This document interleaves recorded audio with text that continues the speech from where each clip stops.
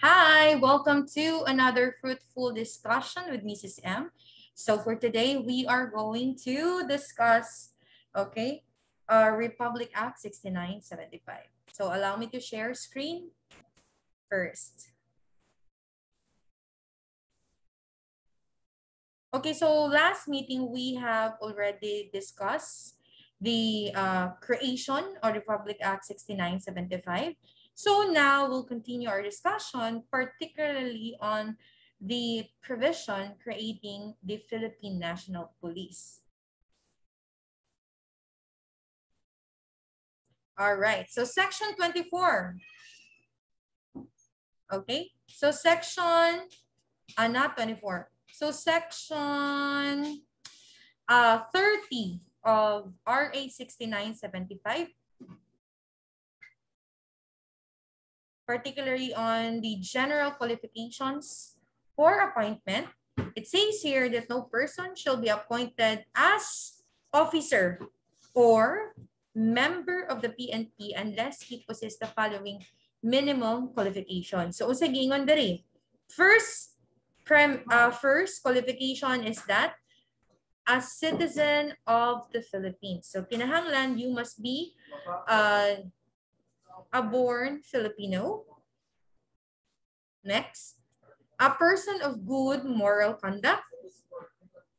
Then a sound mind and body. Meaning to say it's very uh, important that the applicant of, of the Philippine National Police, okay, during the screening, it's very imperative that those who are in charge in the screening should make sure that all applicants that will be, or aspirants, shall I say, that will be admitted in the PNP organization should be physically fit and mentally fit. Next, must possess formal baccalaureate degree for, again, for the appointment as officer. Remember, we have mentioned, we have discussed in our discussion last week that the uh, rank is divided into two. Okay? Na atay gitawag na commissioned officer or commissioned rank starting from inspector up to director general. And we do have the non-commissioned rank, which is starting from PO1 up to SPO4. So if you are aspiring to be a commissioned officer, the minimum requirement is a four-year course and must have finished at least second year college or which is equivalent to 72 units if you want to be appointed as a non-commissioned officer. As a non-commissioned officer or an equivalent training or experience for those who are already in service upon the effectivity of this act. So kaning mention dere experience and training, this will apply to those members of the PCINP, the PAPSICOM, so on and so forth. So again, klaro na to ha. For those who wants to apply for a commissioned rank, so dapat they must be at least a four-year degree holder and for those who are aspiring, and for those who wants to apply for non-commissioned officer, dapat the rank must be at least 72 units or that is equivalent to second year college. Another, must be eligible in accordance to the standards set by the commission. So ang commission nga refer ani, it is the National Police Commission. Another, must not have been dishonorably discharged from military deployment, employment, or dismissed for a cause from any civilian position in the government. So if you are dishonorably discharged in the armed forces of the Philippines, so you will not qualify for PNP. Another, must not have been convicted of a final judgment of an offense or any or a crime involving moral turpitude. Again, what is emphasized in paragraph G is that not convicted by a final judgment. What does it mean? That under Republic Act 6975, if you're if you're facing uh, criminal charges and the trial is still ongoing and no judgment has been rendered yet, you are qualified to apply. But then again, the status nimo is not yet permanent. Kay kinahanglan pa man natong paabuton ang decision on the charges that you're facing, whether its its decision is conviction or acquittal. Just for in case you were admitted in service and then once and then unfortunately the judgment was conviction, then you will be dismissed in service. Just for in case vice versa, ang situation is you were convict you were um you were not found guilty beyond reasonable doubt. That was the result. Okay? So you were not guilty. So, ang imuhang um, status as a non-commissioned officer in the PNP organization, from probation, mahi, pro, from probation, himuon na siya nga permanent. Another must be at least 1.62 meters in height for male, which is equivalent to um, 5'4". Okay? Then if you are a female, in centimeters, it should be uh, it should be 1 meter and 57 centimeters or equivalent to 5'2". Another, your you should have a correct body mass index. Okay, so mura na giingon diya. Another, for a new applicant must not be less than 21 years old and should not be more than 30 years old. Okay? Another, in terms with the appointment itself, the appointment of the officers and members of the PNP shall be effected by the following manner. Una, From PO1 to senior police officer, it shall be appointed by the regional director for regional personnel or by the chief of the PNP for those who are in the national headquarters and attested by the Civil Service Commission.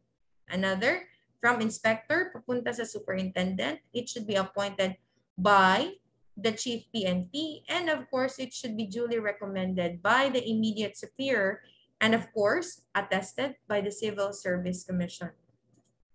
Another, senior superintendent to deputy director general. It should be appointed by the president. Okay, um, uh, upon the recommendation of the chief PNP. Of course, with the proper endorsement by the chairman of the Civil Service Commission and subject to the confirmation of the Commission on Election. Ang pag-select pod o Director General or, or shall I say the head of the PNP organization, the father of the PNP organization, okay, which is the chief PNP, it shall be appointed by the president. Pero kung saan pagpili sa president, it should be among the senior officers down to the rank of chief superintendent. So ang pwede ng pilihan again by the president are those with at least a rank of chief superintendent and the most senior officer. Another, it should be subject to the confirmation of the Commission on Election, provided, provided that the chief PNP shall serve a tour duty not exceeding four years. Provided Furthermore, that in times of war or national emergency declared by the president, okay, the, by the Congress, declared by the Congress, the president may extend such tour of duty. Though it is true that under paragraph D of section 31 mentioned that the tour of duty or tenure as a chief PNP under Republic Act 6975 should only be 4 years, dili dapat mula pa, pero sa panahon nga na ay gubot, okay, sa panahon nga na ay national emergency, as declared, okay, the President is allowed to extend the tour of duty of the chief PNP. But if you were if you will try to look at the PNP organization karon, di man gani kaabot og 4 years gani ang tour of duty ang usa ka chief uh, chief the the chief PNP, okay? Talagsa tag 1 year ra, 2 years ingon ana. So now let's proceed. Section 32, examination for policemen. So the Civil Service Commission shall administer the qualifying entrance examination for the policemen on the basis of the standard set by the commission. Now let's proceed with section 33, lateral entry of the officers in the PNP. Diba, gi-emphasize na ako ninyo, when you say lateral examination, this means that a non-commissioned officer, okay, will be allowed to take a lateral exam. Ya kung makapasar siya, pwede siyang mo apply for a lateral promotion if there is a quota. Na yung pagkahuman, for example, ang iyang rank is PO3, so mo jump na siya direkta o inspector. So in general, all appointment of the commissioned officers in the PNP shall commence with the rank of inspector. That is true because inspector under Republic Act 6975 is the least commission rank. Pinakamubo ng commission rank. Pinakaunang commission rank. To include all those highly technical qualification, kinsa may musulod sa technical qualification. These are the dentist, optometrists, the nurses, the engineers, and graduate of any forensic sciences like police photo uh, forensic photography, forensic ballistics, legal medicine, so on and so forth. Doctors of medicine, members of the bar, and the chaplain may be appointed sila, okay, to the rank of a senior inspector. So take note, under 6975, kung ikaw usa ka doktor, kung ikaw usa ka lawyer, kung ikaw usa ka pare, okay, you can apply for a lateral uh, promotion, then your initial rank will be, if promoted, your initial rank will be senior inspector. However, if you are a dentist, optometrist, nurses, engineer, and a graduate of forensic science, dili senior inspector ang imuhang marank, but rather inspector lang. Graduates of the PNPA shall be automatically appointed with the initial rank of inspector. When you say graduates of the Philippine National Police Academy, okay, katuto siyang those who are trained to become an officer. Kasagaran, uh, uh, high school graduate or K-12 graduate, okay, pwede, na, pwede naman silang mo-take o exam. If they will pass the examination, then they will need to undergo series of screenings. If they will pass it, they might about they will have their take off in the PNPA. So after four years, ana, inspector na sila. Another, qualification of a chief of a city and municipal police station. So no person shall be appointed as chief of police in a station unless bachelor's degree holder siya uh, with, from a recognized institution. Okay, another is that, or he was able to serve in the Philippine Constabulary or the police department or in a city or municipal with the rank of captain or its equivalent therein for at least three years. Another is that no person will be appointed as chief of the municipal police station unless kinahanglan gyapon bachelor's degree holder. Of course, kinahanglan nakuha niya ang degree from a recognized institution or he was able to serve in the PC or in the department of a city or municipal for at least two years. Kanina, kung sa tigingon diri, three years. Kaniya, two years siya with the rank of lieutenant or its equivalent. But you need to remember nga katong member of the bar, katong mga lawyer, minsan member of the bar, those nga nakapasar o bar exam with at least five years in active law practice, okay, who possesses the general qualification under Section 33. Yung say, Section 33, minimum general qualification. So kung nasulod siya ana, unsa magingon diri, shall be qualified to be appointed as the chief of a city or municipal police station. Provided furthermore, that the chief of police shall be appointed in accordance with the provisions of Section 51. Unsa man kabahin ning atuang Section 51. Our Section uh, 51, okay, focuses on the powers of the local government officials over the PNP unit or forces. Okay, so buot pasabot, dapat the the the person who will be appointed as chief of police of a city or municipal who happens to be a lawyer with at least five years um, practice in law, kinahanglan duly appointed by the mayor. Kaya nga naman, under 6975, ang pagpili o chief of police is the job of the local executive of a city or municipality.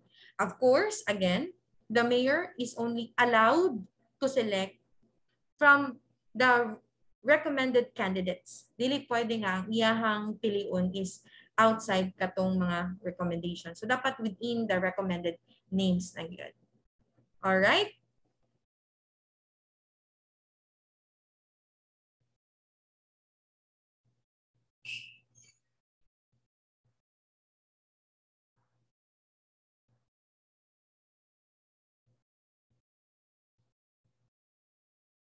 Okay, so now let's have section 35. Support units. So the PNP shall be supported with two, administrative and operational support unit. Okay, so the administrative support unit shall compose of A, crime lab, logistics, communication unit, computer center, uh, finance center, and security unit. While our operational shall be composed of your maritime police unit, your police intelligence, your police security unit, your investigation unit, your special action force, your narcotics, your evasion, your traffic, medical, dental, and civil relations. Ang reason why, ang reason why the PNP has two support unit para to ensure no, in order to enhance the police operational efficiency and effectiveness. Okay, as what I've mentioned in our previous discussions in the prelim period, that our PNP, our police officers, are considered as a national in scope and civilian in character under 6975, as well as they are considered as the prime mover of laws to ensure that they will be able to uphold all laws, munang the only way to do it is to make sure that the organization has two support units. One from administrative and one for operational for optimum effectiveness. So the chief of the PNP may constitute such other support units as may be necessary. Of course, kinahanglan nga na approval from the commission. So, no support unit headed by a chief superintendent or a rank can be created unless provided by law. So under our administrative, again, we do have our crime laboratory. So ang crime laboratory nato, it should be established in the central crime laboratory to be headed by a director. Ang rank sa director should be chief superintendent.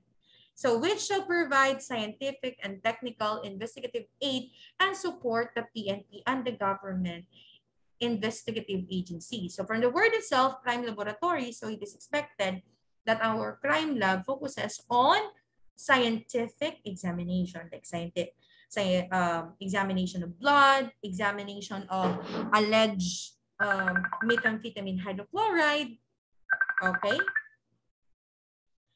Um, mga mga knife delivered or mga firearms recovered from the crime scene, these are the common pieces of evidence that are delivered at the crime scene, at the delivered or recovered from the crime scene and delivered in the crime lab, again, for scientific examination. And the result of the scientific examination is very helpful, okay, in elucidating the criminal investigation. All right. So that's the end of our discussion. Do not forget, do not forget to answer this question. Let me type it first.